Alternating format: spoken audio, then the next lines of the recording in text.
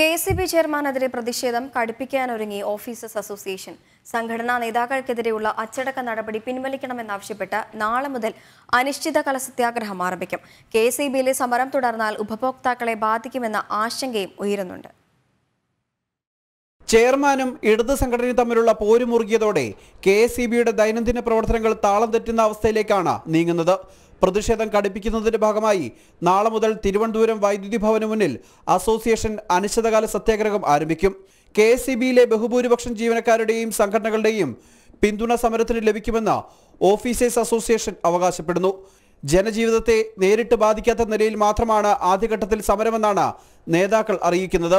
ജീവനക്കാർ സമരത്തിൽ പങ്കെടുക്കുന്നത് കെ എസ് ദൈനംദിന പ്രവർത്തനത്തെ ബാധിക്കുമെന്ന ആശങ്ക ശക്തമാണ്. അതേസമയം സമരത്തെ തള്ളി K S E B engineers association രംഗത്തെത്തി. ചെയർമാനെ പൂർണമായും പിന്തുണയ്ക്കുന്ന എഞ്ചിനീയേഴ്സ് അസോസിയേഷൻ സമരം അനാവശ്യമാണെന്ന് വ്യക്തമാക്കി. Officers association president M G Suresh Kumar general secretary R Harikumar ഉൾപ്പെടെയുള്ളവർക്കെതിരെയുള്ള suspension നടപടി പിൻവലിക്കണമെന്നതാണ് ഇടത് സംഘടനയുടെ പ്രധാന ആവശ്യം. പ്രശ്നം രൂക്ഷമായതോടെ ചൊവ്വാഴ്ച ഇരുകൂട്ടരുമായി വൈദ്യുതി മന്ത്രി ചർച്ച നടത്തും.